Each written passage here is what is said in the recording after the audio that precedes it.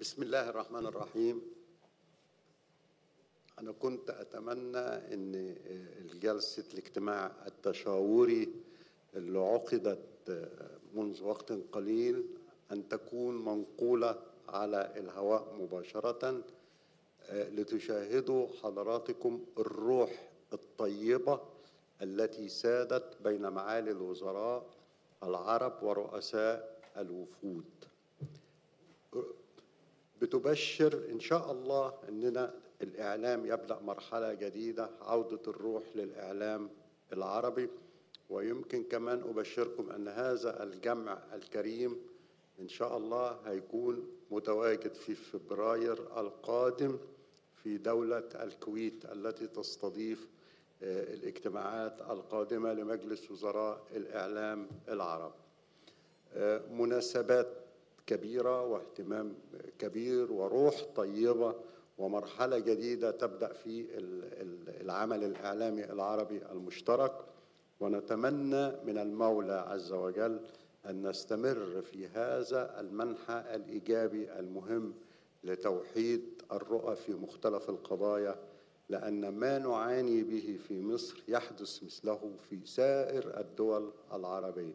تحدياتنا واحدة ونواجه أمورا مشتركة تقتضي أقصى درجات التنسيق ويسعدني أن أرحب بكم جميعا في افتتاح اجتماعات مجلس وزراء الإعلام العرب في دورته رقم 52 التي تستضيفها جمهورية مصر العربية تحت رعاية فخامة الرئيس عبد الفتاح السيسي.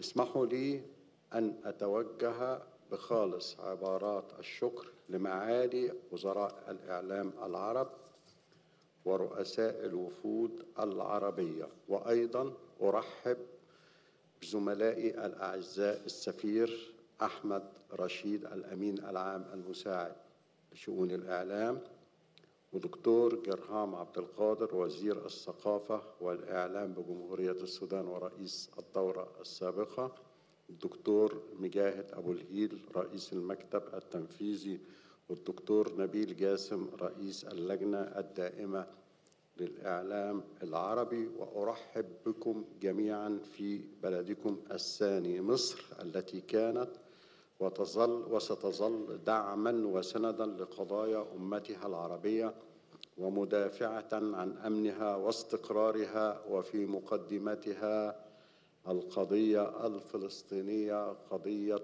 العرب الأولى. وكلنا أمل أن يعقد مثل هذا الاجتماع في القدس الشريف حينما تعلن القدس الشرقية عاصمة لدولة فلسطين.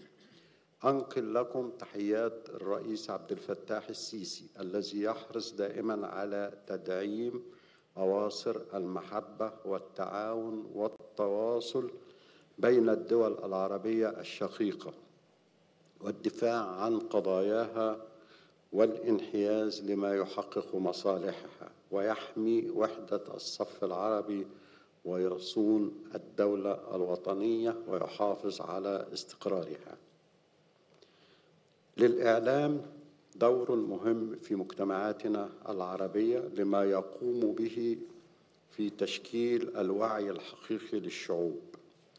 وربما تواجه الدول العربية في هذه الظروف تحديات وتهديدات في ضوء الظروف الدولية غير المسبوقة وتداعيات الأزمة أزمة الحرب الأوكرانية وما يترتب عليها من أزمات في الطاقة والغذاء